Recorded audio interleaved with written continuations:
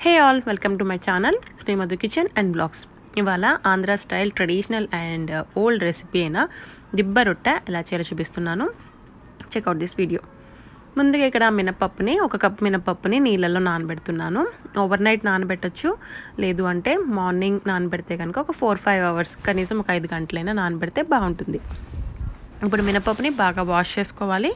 Wash చేసిన ఈ మినపప్పుని mixie జార్లో వేసి రుబ్బుకోవాలి. పొట్టు ఉన్న పప్పు అయితే కనుక పొట్టు పోయేంత వరకు వాష్ చేయాలి.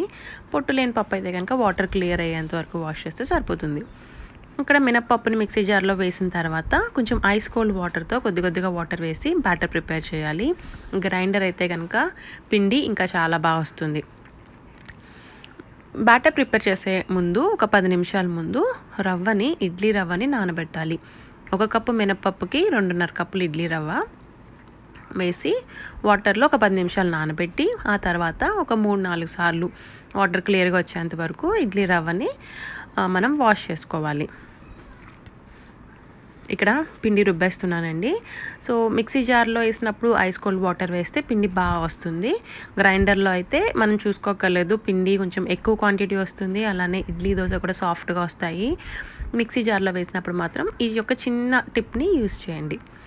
అలానే మిక్సీ జార్ని కూడా కంటిన్యూగా ఓవర్ హీట్ అయిపోయేలాగా మనం రుబ్బేయకూడదు. కొంచెం గ్యాప్ ఇస్తూ బ్రేక్ ఇస్తూ కొద్ది కొద్దిగా మనం బ్యాటర్ని ప్రిపేర్ చేస్తే బాగా వస్తుంది. ఇక్కడ కడిగాను కదండి ఇడ్లీ రవ్వని. ఇప్పుడు దీన్ని వాటర్ అంతా తీసేసి స్క్వీజ్ చేసి ఈ మినప్పిండిలో వేసేస్తున్నాను. ఇది ఇడ్లీ పిండి రెడీ అయిపోయిందండి. ఇదే పిండితో ఇడ్లీ అట్టు దోశ పల్చగా ఇలా ఎలా అయినా చేసుకోవచ్చు. ఇప్పుడు దీనిలో కొంచెం సాల్ట్ వేసి మిక్స్ చేసేసి మూత పెట్టి ఓవర్ నైట్ కొంచెం వెచ్చటి ప్రదేశంలో వామ్ ప్లేస్లో పెట్టేసుకుంటే బాగా ఫర్మెంట్ అవుతుంది.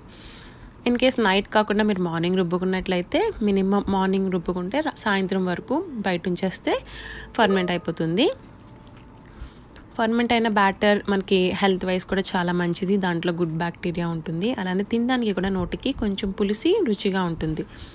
ఇప్పుడు పిండి రెడీ అయిపోయిందండి. ఇక్కడ నేను అట్టు ఎలా వేలా చూపిస్తున్నాను. ఈ రెడీ అయిపోయిన పిండిని ఇంకా ఫ్రిడ్జ్లో పెట్టేసుకోవచ్చు. వన్ వీక్ వరకు కూడా ఫ్రిడ్జ్లో స్టోర్ చేసుకోవచ్చు. ఎప్పుడు కావాలంటే అప్పుడు.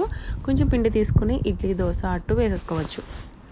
ఇప్పుడు థిక్గా ఉన్న హెవీ బాటమ్ మూకుళ్ళు ఉంటాయి కదా ఇంట్లో అట్లాంటిది దాంట్లో వేసుకోండి అట్టు బాగా వస్తుంది. లేదు అంటే క్యాస్ట్ ఐరన్ ప్యాన్ తీసుకోవచ్చు లేదా నాన్ స్టిక్ ప్యాన్లో కూడా వేయచ్చు. మనకి క్రిస్పీనెస్ ఎక్కువ కావాలి అంటే దల్సరిగా ఉన్న మూకుడు వాడితే క్రిస్పీగా వస్తుంది అట్టు. ఒకసారి ఇలా బ్యాటన్ కలిపిన తర్వాత ఆయిల్ హీట్ అయిన తర్వాత దీంట్లో అట్టు వేసేస్తున్నాను. అట్టు వేసేసిన తర్వాత మీడియం టు లో ఫ్లేమ్లో పెట్టుకొని ఫ్లేమ్ని మూత పెట్టి ఉడకనివ్వాలి. పది నుంచి ఒక పావు గంట పడుతుందండి పది నిమిషాల నుంచి పావు గంట. ఇప్పుడు ఇది నాన్ స్టిక్ ప్యాన్లో వేస్తున్నాను. ఒక పది నిమిషాలు అయిన తర్వాత ఒకసారి చెక్ చేసుకోండి. పిండి మీరు చేయి పెట్టి చూసినా స్పూన్ పెట్టి చూసినా మధ్యలో ఎక్కడ పిండిగా లేకుండా ఉడికి ప్లఫీగా ఉంటే ఫ్లిప్ చేసేయచ్చు అనమాట ఉడికిపోయినట్టు. సో అప్పటి వరకు కూడా మీడియం టు లో ఫ్లేమ్లో దీన్ని కాల్చుకోవాలి. చూడండి ఇక్కడ ఉడికిపోయింది. క్రిస్పీగా చుట్టూరు కనిపిస్తుంది మధ్యలో ఉడికిపోయింది. సో ఇప్పుడు నేను తిరిగేసేసాను.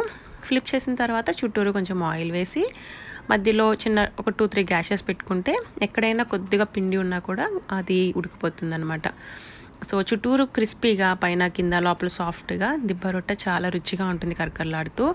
బ్రేక్ఫాస్ట్ డిన్నర్ ఇలా ఎలా అయినా తినొచ్చు. టేస్టీ అండ్ ఓల్డ్ ట్రెడిషనల్ దిబ్బ రొట్టె రెడీ టు సర్వ్ మీరు కూడా ట్రై చేయండి. అండ్ మీకు ఎలా వచ్చిందో నాకు కమెంట్ చేసి చెప్పడం మర్చిపోవద్దు. థ్యాంక్స్ ఫర్ వాచింగ్ మళ్ళీ మరొక మంచి వీడియోతో కలుద్దాం. బాయ్